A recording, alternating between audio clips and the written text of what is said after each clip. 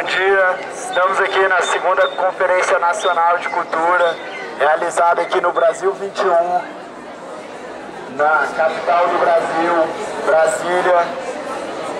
E é com muito prazer que eu, Eduardo Nunes, da ONG Supernova Movimento Contracultural, venho contar um pouco da, minha, da história da minha cidade e do trabalho que a gente faz na nossa cidade. A minha cidade ela é nova, ela tem apenas 16 anos como cidade, como região administrativa, mas ela já é muito antiga.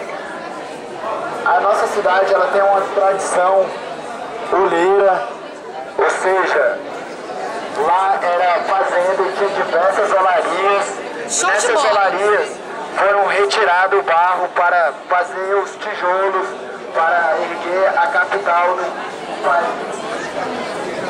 Muitos monumentos de Brasília foram feitos com o barro extraído das olarias de São Sebastião. E lá, nós da Supernova organizamos uma vez por mês o, sarau, o Super Sarau, onde tem encontro de diversos poetas, músicos, atores, atrizes, músicos. E a gente também tem um trabalho bonito lá na área do rock and roll, que é o Super Rock, um evento bimestral que ocorre sempre no primeiro sábado do segundo mês. Pares, a gente está organizando no primeiro sábado, lá em São Sebastião, o Super Rock, que é um evento bem legal, que a gente leva três bandas da cidade e três de fora.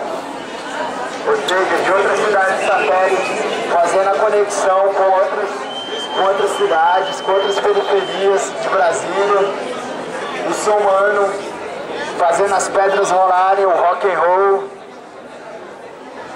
E quem quiser saber mais, visite o blog osupernova.blogspot.com. E é com muito prazer que eu, Eduardo da Supernova, mando um abraço para todos da Amazonas. Amazônia.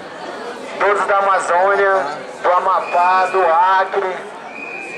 Enfim, do Oiapoque ao Chuí aí, aquele abraço. Um grande abraço a todos, poetas, sambistas, cronistas, circenses, músicos, todos, enfim. Aquele abraço. Valeu!